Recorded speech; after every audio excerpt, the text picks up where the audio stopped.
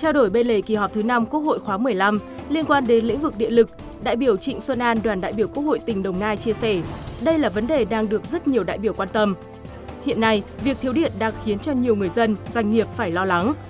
Về trách nhiệm, theo đại biểu Trịnh Xuân An, chưa nên đổ lỗi cho ai về việc để thiếu điện, đặc biệt là các sự cố cắt điện vừa qua, bởi cần phải được đánh giá cẩn trọng từng lĩnh vực, nhiều khía cạnh. Trước tình trạng này, cần phải có một cuộc giả soát lại thật kỹ về hệ thống quản lý, kinh doanh, sản xuất, phân phối điện của chúng ta. Đánh giá cao việc chính phủ tổ chức thanh tra về quản lý và cung ứng điện của EVN, đại biểu Trịnh Xuân An kỳ vọng sắp tới chính phủ sẽ có câu trả lời rõ ràng rằng có phải đúng là lỗ thật hay không, có đúng là mua giá cao, bán giá thấp để cho nhân dân biết rõ. Bộ Tài chính vừa ban hành thông tư số 37 năm 2013 quy định mức thu, chế độ thu, nộp, quản lý và sử dụng phí sát hạch lái xe, lệ phí cấp bằng, chứng chỉ được hoạt động trên các loại phương tiện và lệ phí đăng ký, cấp biển xe máy chuyên dùng. Theo đó, mức phí sát hạch lái xe đối với thi sát hạch lái xe các hạng xe A1, A2, A3, A4 gồm sát hạch lý thuyết 60.000 đồng một lần, tăng 20.000 đồng. Sát hạch thực hành 70.000 đồng một lần, tăng 20.000 đồng. Đối với thi sát hạch lái xe ô tô hạng xe B1, B2, C, D, E, F, sát hạch lý thuyết 100.000 đồng một lần, tăng 10.000 đồng. Sát hạch thực hành trong hình 350.000 đồng một lần, tăng 50.000 đồng. Sát hạch thực hành trên đường giao thông 80.000 đồng một lần, tăng 20.000 đồng. Sát hạch lái xe ô tô bằng phần mềm mô phỏng các tình huống giao thông 100.000 đồng một lần. Ngày 9 tháng 6, cơ quan cảnh sát điều tra công an thành phố Đà Nẵng ra thông báo tìm người có quyền lợi, nghĩa vụ liên quan đến dự án khu khách sạn, căn hộ và dân cư cao cấp Diamond, địa chỉ tại khu đô thị mới Hòa Hải 13, phường Hòa Hải, quận Ngũ Hành Sơn, thành phố Đà Nẵng. Thông báo nêu rõ, cơ quan cảnh sát điều tra công an thành phố Đà Nẵng đang thụ lý giải quyết tin báo tố giác của một số công dân về hành vi tội phạm lừa đảo chiếm đoạt tài sản có liên quan đến việc ký hợp đồng góp vốn, hợp đồng đặt cọc, giữ chỗ để mua bán đất dự án giữa công ty trách nhiệm hữu hạn một thành viên Len Hà Hải là chủ đầu tư, công ty cổ phần tập đoàn Cường Hưng Thịnh là công ty môi giới, phân phối sản phẩm với các khách hàng tại dự án khu khách sạn, căn hộ và dân cư cao cấp Diamond. Để phục vụ công tác điều tra, cơ quan cảnh sát điều tra công an thành phố Đà Nẵng đề nghị những ai là khách hàng đã ký hợp đồng, nộp tiền đặt cọc, góp vốn, giữ chỗ mua đất tại dự án khu khách sạn, căn hộ và dân cư cao cấp Diamond liên hệ ngay với công an thành phố Đà Nẵng để được xem xét, giải quyết, bảo vệ quyền, lợi ích hợp pháp theo quy định của pháp luật.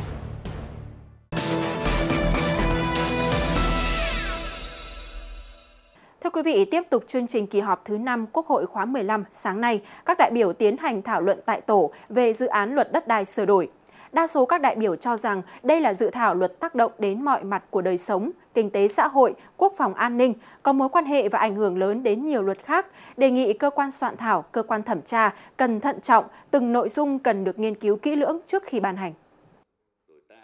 Thảo luận tại tổ, các đại biểu đánh giá cao quá trình nghiên cứu, sửa đổi dự án luật đất đai đã được tiến hành công phu, nghiêm túc. Việc tổng kết thực tiễn và lấy ý kiến của các cơ quan, tổ chức hữu quan đã được tiến hành kỹ lưỡng nên có nhiều thông tin. Góp ý vào điều 127 trong dự thảo luật quy định về thu hồi đất và bồi thường tái định cư, có ý kiến cho rằng hiện nay nhà nước và người dân đang gặp vướng mắc về thỏa thuận đền bù. Giá đất đầu vào không chính xác, giá bồi thường hỗ trợ tái định cư không phù hợp, chỉ bằng 60 đến 70% giá thị trường. Khu vực tái định cư chưa đáp ứng nhu cầu của người dân. Bên cạnh đó, khi đền bù, nhiều người dân đòi giá bồi thường cao hơn, dẫn đến nhiều dự án chậm giải phóng mặt bằng, gây ách tắc không thể triển khai được. Bây giờ một trong những nguyên tắc là thỏa thuận trong nghị quyết 18, việc là thỏa thuận, nhưng thỏa thuận thì báo cáo với Thủ tướng toàn thể các đại biểu là nhưng phải trong khuôn khổ. Thì tôi đề xuất là thỏa thuận đó như thỏa thuận trong cái phạm vi đến khi không thỏa thuận được nhà nước phải cắt thiệp Ví dụ cái giá thỏa thuận tối đa là không quá 1,5% cái bảng giá đất theo quy định của luật mới sẽ còn nếu mà khi mà không thỏa thuận được thì nhà nước sẽ thu hồi đất trong trường hợp này thì nói thực tế là rất nhiều dự án người ta đang ách tắc và cũng sẽ làm làm, làm khó khăn và cũng là cái mà, mà điểm nghẽn trong sự phát triển kinh tế xã hội của đất nước. Đối với quy định về mở rộng đối tượng nhận chuyển nhượng đất, có ý kiến đề nghị cần phải giới hạn đối tượng được nhận chuyển nhượng quyền sử dụng đất trồng lúa, vì nếu mở rộng có thể sẽ ảnh hưởng đến việc đảm bảo đất sản xuất cho nông dân, gây bất ổn tình hình chính trị khu vực nông thôn. Tôi cho rằng cần cái quy định cụ thể và chặt chẽ hơn về cái điều kiện đối với các cái cá nhân không trực tiếp sản xuất nông nghiệp mà nhận chuyển nhượng quyền sử dụng đất ở nông nghiệp nên bổ sung cái ý này vào thì nó sẽ là là, là giảm thiểu được những cái yếu tố mà chúng ta đã đưa ra. Liên quan đến quy định thu hồi đất vì mục đích quốc phòng an ninh, phát triển kinh tế xã hội, nhiều đại biểu cho rằng cơ quan soạn thảo cần tiếp tục giả soát, đảm bảo đúng mục tiêu, mục đích, xác định rõ các tiêu chí, những công trình nào phục vụ trực tiếp quốc phòng an ninh để tránh sự thiếu minh bạch trong quá trình thu hồi đất, ảnh hưởng đến quyền và lợi ích của người dân. Thì tôi đề nghị là qua cái quá trình tổng kết này thì chúng ta về phải giả soát lại là 132 của chúng ta khá chặt chẽ nhưng nếu mở cái luật này thì lại là khá rộng và vừa qua trong quá trình thực hiện những cái việc mà kết hợp kinh tế của đất quốc phòng đã xảy ra rất là nhiều cái hệ lụy thì chúng tôi đề nghị là chính phủ cũng phải à, đánh giá một cách cẩn trọng trong cái việc thực hiện những cái nội dung này. Về cơ chế chia sẻ lợi ích giữa các nhà đầu tư với cộng đồng dân cư, đa số các ý kiến cho rằng thực tế việc thu hồi đất để xây dựng các công trình, dự án có những trường hợp đem lại lợi ích to lớn cho cộng đồng dân cư xung quanh. Tuy nhiên, cũng có những dự án ảnh hưởng tiêu cực đến lợi ích của người dân, đặc biệt là các dự án có tác động lớn đến môi trường như khai thác khoáng sản, xây dựng thủy điện, xây dựng nghĩa trang, các khu dự án xử lý rác. Do đó, các đại biểu đề nghị trong lần sửa đổi này, cơ quan soạn thảo cần nghiên cứu bổ sung quy định về cơ chế, chia sẻ lợi ích giữa nhà đầu tư với người dân trong các dự án có tác động lớn đến môi trường sống của người dân, nhằm tạo điều kiện cho việc phục hồi và phát triển sinh kế lâu dài cho cộng đồng dân cư.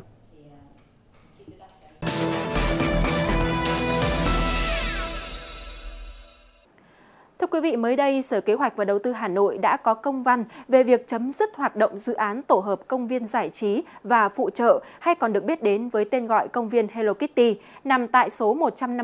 151-153 Yên Phụ. Được biết, chủ đầu tư của dự án là công ty trách nhiệm hữu hạn đầu tư và phát triển dịch vụ vui chơi giải trí Hà Nội, một doanh nghiệp liên quan đến tập đoàn BRG. Dự án công viên này có tên thương mại là Tổ hợp vui chơi giải trí Sario Hello Kitty World Hà Nội Công viên Hello Kitty được phê duyệt chủ trương đầu tư từ năm 2018. Đến năm 2019, dự án công bố xây dựng. Tuy nhiên đến nay, sau hơn 4 năm, công viên Hello Kitty vẫn trong tình trạng chưa thành hình, quây tôn kín mít. Theo Sở Kế hoạch và Đầu tư Hà Nội, lý do chấm dứt hoạt động của dự án là nhà đầu tư không được tiếp tục sử dụng địa điểm. Đồng thời, doanh nghiệp cũng không thực hiện thủ tục điều chỉnh địa điểm đầu tư trong 6 tháng kể từ ngày không được tiếp tục sử dụng địa điểm đầu tư. Từ năm 2016, tập đoàn BRG và công ty Sanrio Hồng Kông đã ký thỏa thuận hợp tác phát triển công viên giải trí với các nhân vật của Sanrio. Đến năm 2018, Hà Nội đã có quyết định chủ trương đầu tư và duyệt quy hoạch cho dự án với 8 tầng, mật độ xây dựng 80%. Theo quyết định chủ trương đầu tư của thành phố Hà Nội, công viên Hello Kitty dự kiến hoàn thành vào năm 2020. Tháng 5 năm 2019, tập đoàn BRG đã tổ chức buổi lễ công bố xây dựng dự án tổ hợp vui chơi giải trí Sanrio Hello Kitty World Hà Nội BRG. Theo giới thiệu, Sanrio Hello Kitty World Hà Nội BRG là tổ hợp vui chơi giải trí đầu tiên mang thương hiệu Sanrio tại Đông Nam Á, được kỳ vọng là công viên giải trí trong nhà mang thương hiệu quốc tế đầu tiên tại Hà Nội. Các hạng mục giải trí của công viên được giới thiệu rất đa dạng bao gồm các trò chơi giải trí, điểm tham quan, chương trình diễu hành, nhà hát, vân vân. Khi đó, đại diện tập đoàn BRG cho biết, dự kiến khi dự án hoàn thành sẽ đón khoảng 1 triệu lượt khách mỗi năm.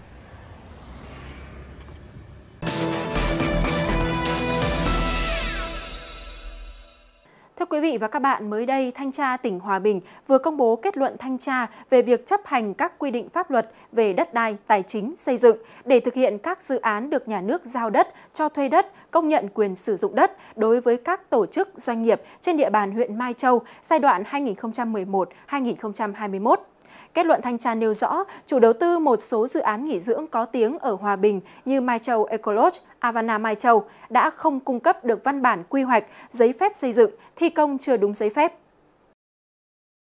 Theo thanh tra tỉnh Hòa Bình, vi phạm về thực hiện trình tự thủ tục về đất đai, thực hiện nghĩa vụ tài chính, đầu tư xây dựng và tiến độ thực hiện dự án xảy ra tại nhiều khu du lịch sinh thái nghỉ dưỡng trên địa bàn huyện Mai Châu. Cụ thể, tại dự án khu du lịch sinh thái nghỉ dưỡng Mai Châu Ecolodge tại xã Nà Phòn do công ty trách nhiệm hữu hạn du lịch nghỉ dưỡng sinh thái Mai Châu thực hiện. Nhà đầu tư được Ủy ban Nhân dân tỉnh Hòa Bình cho phép chuyển đổi mục đích sử dụng 17.395,5 m2 đất rừng sản xuất sang mục đích đất sản xuất, kinh doanh phi nông nghiệp, nhưng không cung cấp được hồ sơ, tài liệu liên quan đến việc xác định diện tích rừng trên đất rừng sản xuất và hồ sơ trồng rừng thay thế. Tại thời điểm thanh tra, đơn vị cũng không cung cấp được văn bản quy hoạch, giấy phép xây dựng. Tương tự tại dự án khu du lịch nghỉ dưỡng Avana Mai Châu tại xã Piềng Vế do công ty trách nhiệm hữu hạn Avana Mai Châu là chủ đầu tư. Thực tế thi công chưa đúng với giấy phép xây dựng số 64 ngày 18 tháng 6 năm 2018 do Sở Xây dựng tỉnh Hòa Bình cấp. Thanh tra tỉnh Hòa Bình cũng nêu 9 dự án chậm tiến độ từ 5 đến 20 tháng do vướng mắc trong thủ tục điều chỉnh chủ trương đầu tư và bồi thường giải phóng mặt bằng. Trong đó có 3 dự án nghỉ dưỡng là khu du lịch nghỉ dưỡng văn hóa Mai Châu, khu du lịch sinh thái Ba Khan và khu du lịch sinh thái nghỉ dưỡng Mỏ Ấm.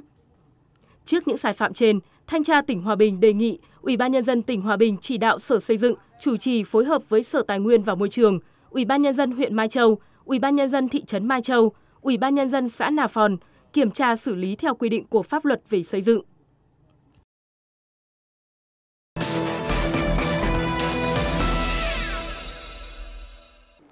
Vị và các bạn có biết rằng ở Việt Nam có một địa phương duy nhất tự huy động vốn làm đường cao tốc, trong đó có tuyến cao tốc dài nhất Việt Nam không ạ? Vâng, đó chính là tỉnh Quảng Ninh. Các tuyến cao tốc ở địa phương này đều do Quảng Ninh tự làm, khác hẳn với các tuyến cao tốc trong nước do chính phủ đầu tư. Sau đây là ghi nhận của phóng viên truyền hình VOV. Theo thông tin chính thức từ Ủy ban Nhân dân tỉnh Quảng Ninh, hai tuyến cao tốc của tỉnh hiện có đều do địa phương tự huy động vốn và thực hiện. Quảng Ninh hiện có hai tuyến cao tốc lớn là cao tốc Hạ Long Vân Đồn và Vân Đồn Móng Cái. Hai tuyến cao tốc này đã nâng tổng số đường cao tốc tại tỉnh Quảng Ninh lên gần 180 km, chạy dọc tỉnh, kết nối các trung tâm kinh tế Hạ Long, Vân Đồn, Móng Cái và hàng chục khu công nghiệp, khu kinh tế của tỉnh. Cụ thể, tuyến cao tốc Hạ Long Vân Đồn dài hơn 60 km là tuyến cao tốc đầu tiên Quảng Ninh huy động nguồn lực xã hội để đầu tư, hoàn thành vào cuối năm 2018. Tuyến cao tốc Vân Đồn Móng Cái với vận tốc thiết kế 120 km một giờ, có tổng vốn đầu tư khoảng 14.000 tỷ đồng, đã chính thức thông xe vào năm 2022. Đây là tuyến cuối cùng được hoàn thành của tuyến đường cao tốc xuyên tỉnh Quảng Ninh với tổng chiều dài 176 km, chiếm 16,8% tổng chiều dài đường cao tốc hiện có của cả nước. Tuyến cao tốc Vân Đồn Móng Cái hình thành khiến Quảng Ninh là tỉnh sở hữu đường cao tốc dài nhất Việt Nam hiện nay, cũng là tuyến cao tốc duy nhất ở Việt Nam kết nối đồng bộ với ba sân bay quốc tế, hệ thống cảng biển và logistics, các đầu tàu, cực tăng trưởng kinh tế của phía Bắc và các đô thị lớn, các khu kinh tế ven biển của Hải Phòng, Quảng Ninh và các khu kinh tế cửa khẩu với cửa khẩu quốc tế Móng Cái.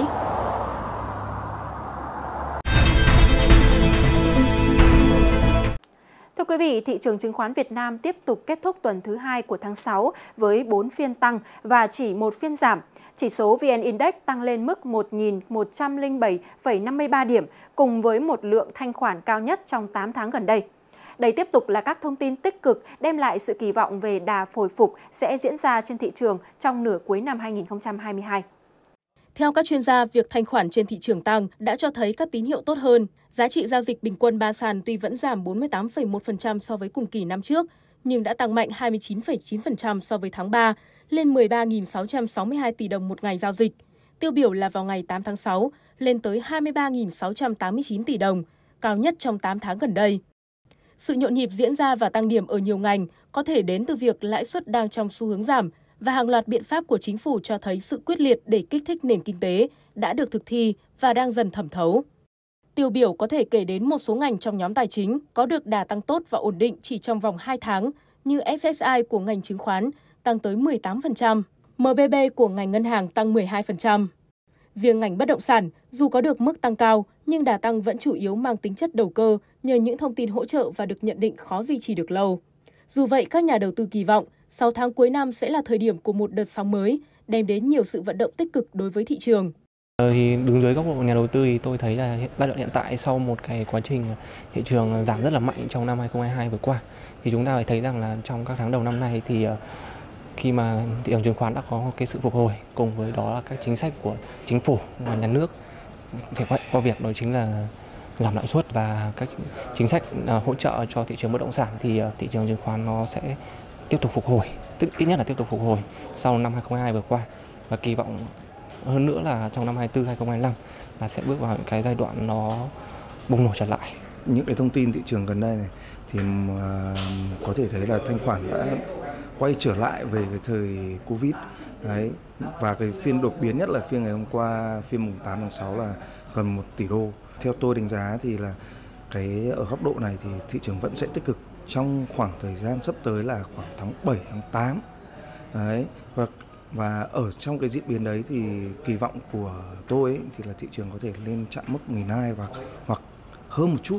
Mặc dù thị trường nhìn chung đang trong xu hướng phục hồi sau giai đoạn downtrend, tuy nhiên vẫn còn rất nhiều yếu tố ảnh hưởng mạnh đến quá trình tăng điểm của VN Index. Trong đó, các diễn biến trên thế giới cũng có thể tạo ra những đợt rung lắc mạnh đối với thị trường chứng khoán Việt Nam. Theo tôi thì sẽ có một đợt giảm điểm vào khoảng cuối tháng 8 gì đấy và cái đợt giảm điểm này nó có thể bị tác động bởi yếu tố thế giới. Giữa ví dụ như Trung Quốc và Đài Loan và Mỹ có thể có thể là suy thoái. Nhưng cái điều suy thoái này là, nó chỉ là một cái dấu chấm hết.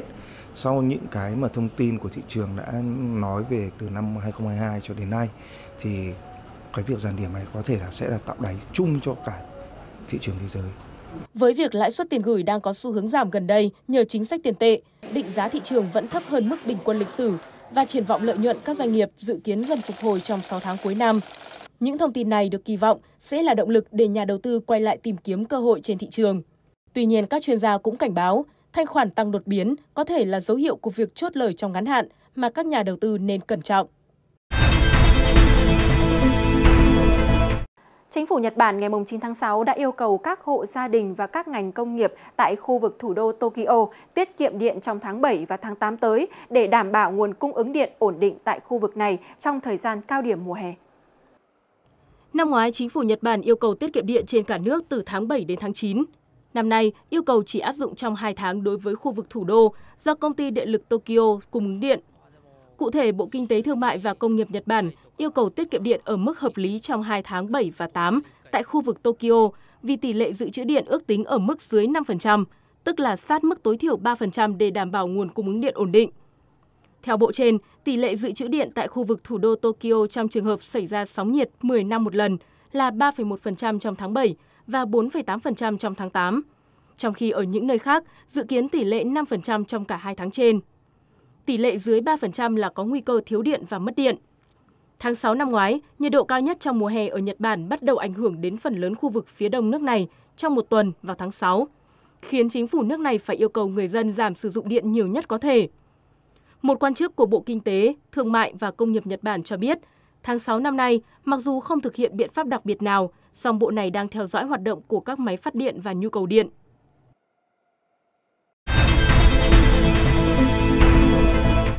Thưa quý vị, là quốc gia dẫn đầu thế giới về năng lượng mặt trời, công suất quang điện lắp mới ở Trung Quốc đã đứng đầu thế giới 10 năm liên tiếp.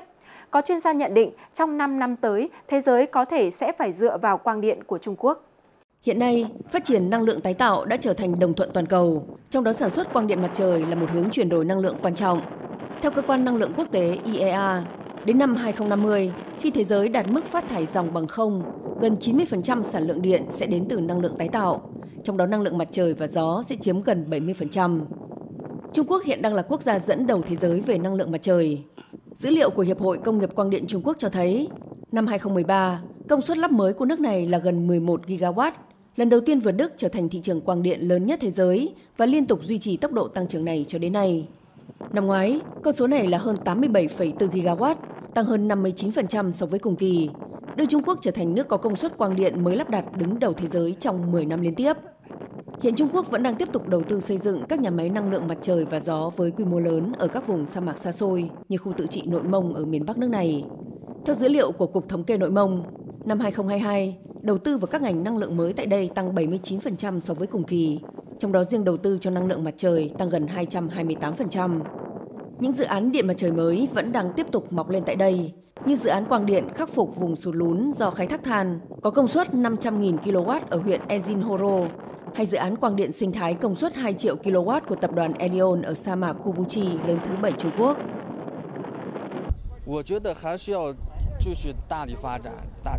Theo tôi, cần phát triển mạnh quang điện, bởi sa mạc Kubuchi có tài nguyên đất đai rất phong phú, cùng với lợi thế về tài nguyên ánh sáng và tiêu thụ điện năng. Ngành công nghiệp quang điện có rất nhiều dư địa để phát triển.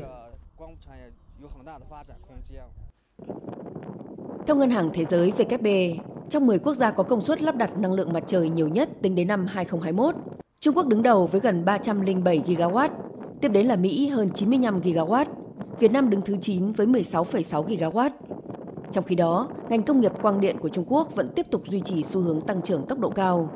Trong quý 1 năm nay, công suất lắp mới của nước này đạt 33 GW, tương đương với nửa đầu năm ngoái. Ước tính trong năm nay, Trung Quốc sẽ đạt quy mô công suất phát điện năng lượng mặt trời khoảng 490 GW, lần đầu tiên vượt thủy điện, trở thành nguồn phát điện năng lượng phi hóa thạch số 1 ở nước này. Chia sẻ tại diễn đàn Trung quan thôn tổ chức tại Bắc Kinh cuối tháng 5, giáo sư Martin Green của Đại học New South Wales, Australia, người được mệnh danh là cha đẻ của năng lượng mặt trời thế giới dự báo, ít nhất trong 5 năm tới, ngành công nghiệp quang điện thế giới sẽ phải phụ thuộc vào Trung Quốc. Đằng sau lưng tôi đây là Campuchia, sa mạc lớn thứ bảy của Trung Quốc. Tận dụng những sa mạc rộng lớn, nội mông đang phát triển mạnh điện mặt trời, giúp Trung Quốc tiếp tục duy trì vị thế thị trường năng lượng điện mặt trời lớn nhất thế giới trong những năm tới. Bích Thuận, phóng viên thường trú Đài tiếng nói Việt Nam, đưa tin từ Nội Mông, Trung Quốc. Thưa quý vị, tiếp đà thành công tại thị trường trong nước, BYD, nhà sản xuất ô tô Trung Quốc do tỷ phú Warren Buffett hậu thuẫn, đang liên tục mở rộng và thâm nhập thị trường các khu vực như châu Á, châu Âu và châu Mỹ Latin với tốc độ chóng mặt. Trong quý 1 năm 2023, BYD, hãng xe điện được đầu tư bởi Berkshire Hathaway của tỷ phú Warren Buffett, đã vượt qua BMW, Renault cùng các nhà sản xuất ô tô Trung Quốc khác là Zhejiang Geely Holding Group, Horizon New Energy Automobile để trở thành nhà sản xuất ô tô sạch hàng đầu tại Brazil, Colombia, Israel và Thái Lan. Do Chủ tịch Wang Chuanfu điều hành, tỷ phú xe điện có xuất thân từ gia đình nhà nông. BYD, viết tắt của cụm từ Build Your Dreams, ra đời nhằm mục đích thực hiện những giấc mơ chưa đạt được. Từ một doanh nghiệp tay trắng vào năm 1995, BYD ghi nhận doanh thu đạt mức 424 tỷ nhân dân tệ, tương đương 60 tỷ đô la Mỹ vào năm 2022. Theo đó, năm ngoái, BYD đã bán được 1,86 triệu xe năng lượng xanh, nhiều hơn doanh số 4 năm trước đó cộng lại nhờ doanh số bán hàng tại thị trường nước ngoài được đẩy lên cao. BYD hiện trở thành hãng xe điện bán chạy nhất tại Trung Quốc. Đây vốn là vị trí được Volkswagen nắm giữ trong hơn 10 năm trở lại đây. Hiện tại, các dòng xe xanh nhà BYD đang chiếm 39% doanh số bán xe năng lượng mới, xe điện hoặc xe hybrid. Các sản phẩm của hãng xe Trung Quốc được biết tới ngày một nhiều hơn nhờ sở hữu các mẫu mã đẹp, đa dạng với mức giá phù hợp. Ban lãnh đạo tập đoàn tin rằng muốn giữ chi phí sản phẩm ở mức tốt thì BYD cần chủ động sản xuất được nhiều linh kiện hơn. Vì thế doanh nghiệp bắt đầu tập trung nhiều nguồn lực cho việc sản xuất các bộ phận xe điện. BYD hiện đang sở hữu pin xe điện và chất bán dẫn của riêng mình, đồng thời cũng là đơn vị có nhà sản xuất linh kiện xe điện lớn thứ hai trên thế giới.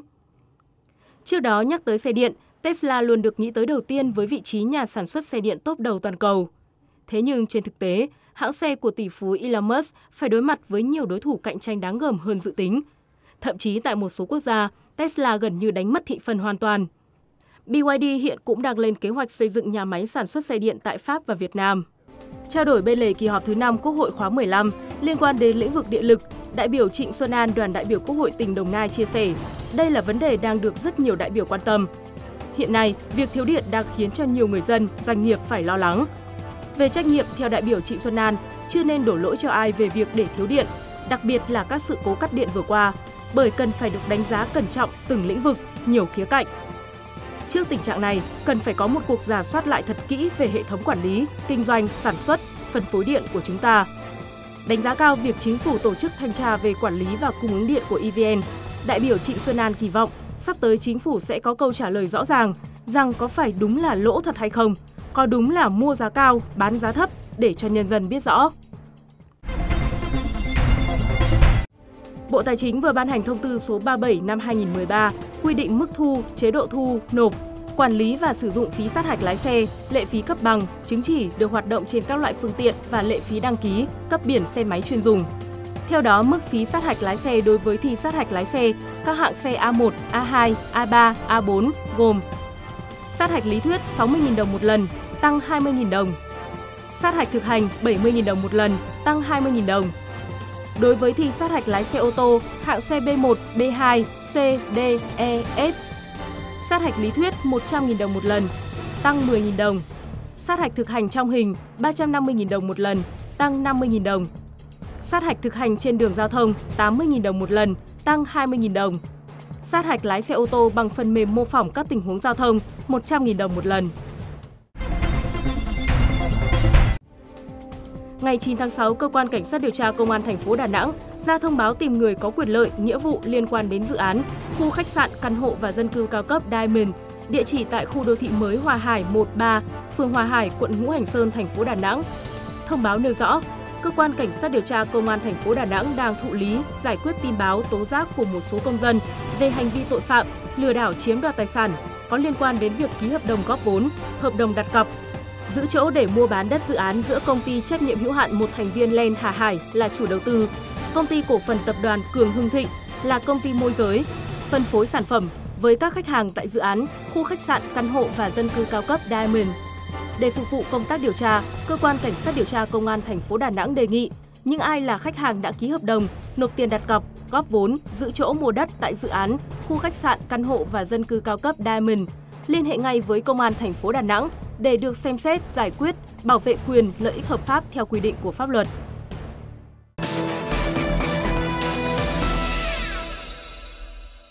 Thưa quý vị, tiếp tục chương trình kỳ họp thứ 5 Quốc hội khóa 15 sáng nay, các đại biểu tiến hành thảo luận tại tổ về dự án luật đất đai sửa đổi. Đa số các đại biểu cho rằng đây là dự thảo luật tác động đến mọi mặt của đời sống, kinh tế xã hội, quốc phòng an ninh, có mối quan hệ và ảnh hưởng lớn đến nhiều luật khác, đề nghị cơ quan soạn thảo, cơ quan thẩm tra cần thận trọng, từng nội dung cần được nghiên cứu kỹ lưỡng trước khi ban hành. Thảo luận tại tổ, các đại biểu đánh giá cao quá trình nghiên cứu, sửa đổi dự án luật đất đai đã được tiến hành công phu, nghiêm túc. Việc tổng kết thực tiễn và lấy ý kiến của các cơ quan, tổ chức hữu quan đã được tiến hành kỹ lưỡng nên có nhiều thông tin. Góp ý vào điều 127 trong dự thảo luật quy định về thu hồi đất và bồi thường tái định cư. Có ý kiến cho rằng hiện nay nhà nước và người dân đang gặp vướng mắc về thỏa thuận đền bù, giá đất đầu vào không chính xác, giá bồi thường hỗ trợ tái định cư không phù hợp, chỉ bằng 60 đến 70% giá thị trường. Khu vực tái định cư chưa đáp ứng nhu cầu của người dân. Bên cạnh đó, khi đền bù, nhiều người dân đòi giá bồi thường cao hơn, dẫn đến nhiều dự án chậm giải phóng mặt bằng, gây ách tắc không thể triển khai được. Bây giờ một trong những nguyên tắc là thỏa thuận trong nghị quyết 18, việc là thỏa thuận, nhưng thỏa thuận thì báo cáo với thủ tướng với toàn thể các đại biểu là nhưng phải trong khuôn khổ. Thì tôi đề xuất là thỏa thuận đó như thỏa thuận trong cái phạm vi đến khi không thỏa thuận được nhà nước phải can thiệp ví dụ cái giá thỏa thuận tối đa là không quá 1,5% cái bảng giá đất theo quy định của luật mới sẽ còn nếu mà khi mà không thỏa thuận được thì nhà nước sẽ thu hồi đất trong trường hợp này thì nói thực tế là rất nhiều dự án bây giờ đang ách tắc và cũng sẽ làm làm làm khó khăn và cũng là cái mà, mà điểm nghẽn trong sự phát triển kinh tế xã hội của đất nước. Đối với quy định về mở rộng đối tượng nhận chuyển nhượng đất, có ý kiến đề nghị cần phải giới hạn đối tượng được nhận chuyển nhượng quyền sử dụng đất trồng lúa, vì nếu mở rộng có thể sẽ ảnh hưởng đến việc đảm bảo đất sản xuất cho nông dân, gây bất ổn tình hình chính trị khu vực nông thôn. Tôi cho rằng cần cái quy định cụ thể và chặt chẽ hơn về cái điều kiện đối với các cái cá nhân không trực tiếp sản xuất nông nghiệp mà nhận chuyển nhượng quyền sử dụng đất ở nông nghiệp nên bổ sung cái ý này vào thì nó sẽ là là, là giảm thiểu được những cái yếu tố mà chúng ta đã đưa ra. Liên quan đến quy định thu hồi đất vì mục đích quốc phòng an ninh, phát triển kinh tế xã hội, nhiều đại biểu cho rằng cơ quan soạn thảo cần tiếp tục giả soát, đảm bảo đúng mục tiêu, mục đích, xác định rõ các tiêu chí, những công trình nào phục vụ trực tiếp quốc phòng an ninh để tránh sự thiếu minh bạch trong quá trình thu hồi đất, ảnh hưởng đến quyền và lợi ích của người dân. Thì tôi đề nghị là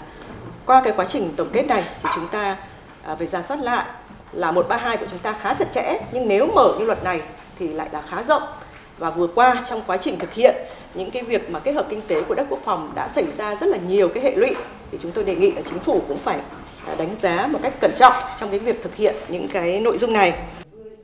Về cơ chế chia sẻ lợi ích giữa các nhà đầu tư với cộng đồng dân cư, đa số các ý kiến cho rằng thực tế việc thu hồi đất để xây dựng các công trình, dự án có những trường hợp đem lại lợi ích to lớn cho cộng đồng dân cư xung quanh.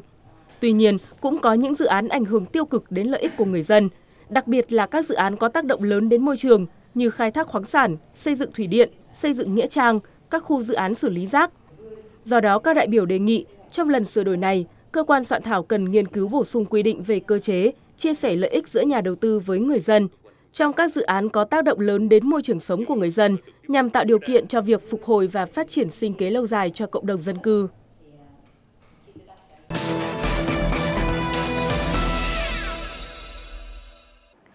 Thưa quý vị, mới đây Sở Kế hoạch và Đầu tư Hà Nội đã có công văn về việc chấm dứt hoạt động dự án tổ hợp công viên giải trí và phụ trợ hay còn được biết đến với tên gọi công viên Hello Kitty nằm tại số 151-153 Yên Phụ. Được biết, chủ đầu tư của dự án là công ty trách nhiệm hữu hạn đầu tư và phát triển dịch vụ vui chơi giải trí Hà Nội, một doanh nghiệp liên quan đến tập đoàn BRG. Dự án công viên này có tên thương mại là Tổ hợp vui chơi giải trí Sario Hello Kitty World Hà Nội. Công viên Hello Kitty được phê duyệt chủ trương đầu tư từ năm 2018. Đến năm 2019, dự án công bố xây dựng. Tuy nhiên đến nay, sau hơn 4 năm, công viên Hello Kitty vẫn trong tình trạng chưa thành hình, quây tôn kín mít. Theo Sở Kế hoạch và Đầu tư Hà Nội, lý do chấm dứt hoạt động của dự án là nhà đầu tư không được tiếp tục sử dụng địa điểm. Đồng thời, doanh nghiệp cũng không thực hiện thủ tục điều chỉnh địa điểm đầu tư trong 6 tháng kể từ ngày không được tiếp tục sử dụng địa điểm đầu tư. Từ năm 2016, tập đoàn BRG và công ty Sanrio Hồng Kông đã ký thỏa thuận hợp tác phát triển công viên giải trí với các nhân vật của Sanrio. Đến năm 2018, Hà Nội đã có quyết định chủ trương đầu tư và duyệt quy hoạch cho dự án với 8 tầng, mật độ xây dựng 80%. Theo quyết định chủ trương đầu tư của thành phố Hà Nội, công viên Hello Kitty dự kiến hoàn thành vào năm 2020. Tháng 5 năm 2019, tập đoàn BRG đã tổ chức buổi lễ công bố xây dựng dự án tổ hợp vui chơi giải trí Sanrio Hello Kitty World Hà Nội BRG. Theo giới thiệu, Sanrio Hello Kitty World Hà Nội BRG là tổ hợp vui chơi giải trí đầu tiên mang thương hiệu Sanrio tại Đông Nam Á, được kỳ vọng là công viên giải trí trong nhà mang thương hiệu quốc tế đầu tiên tại Hà Nội. Các hạng mục giải trí của công viên được giới thiệu rất đa dạng bao gồm các trò chơi giải trí, điểm tham quan, chương trình diễu hành, nhà hát, vân vân. Khi đó, đại diện tập đoàn BRG cho biết, dự kiến khi dự án hoàn thành sẽ đón khoảng 1 triệu lượt khách mỗi năm.